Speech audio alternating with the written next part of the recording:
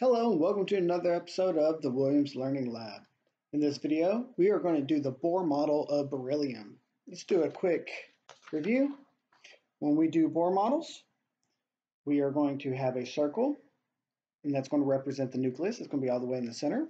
Then we're going to have P equals a number, and that's going to represent the number of protons. N equals a number, and that's going to represent the number of neutrons. The electrons are going to orbit the nucleus in orbits or shells, in the very first orbit, it can have a maximum of two electrons indicated by these orange dots.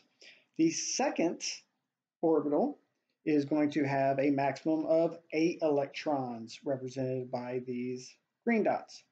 The third orbital, it can also contain eight electrons.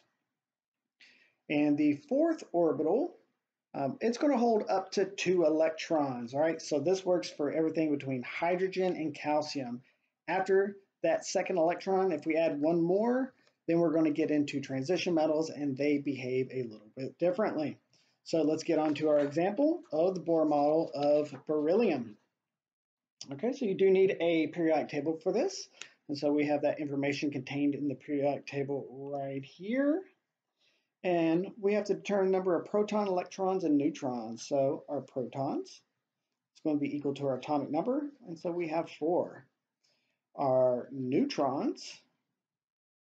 That's going to be taking the atomic mass, rounding it, and then subtracting the atomic number. So that rounds to 9 minus 4, and that gives us 5 neutrons.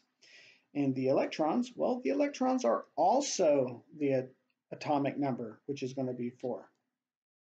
All right, so now we have that. We're going to draw the nucleus of our atom. And I'm going to do that with this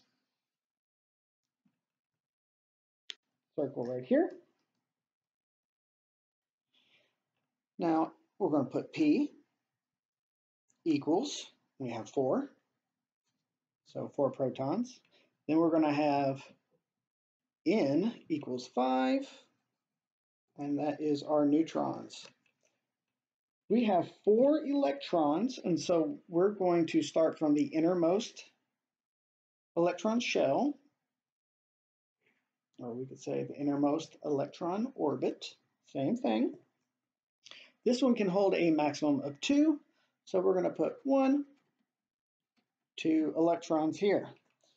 Now we need a total of four electrons. Well, that first shell is full, so we're going to need another orbit, excuse me, another orbital.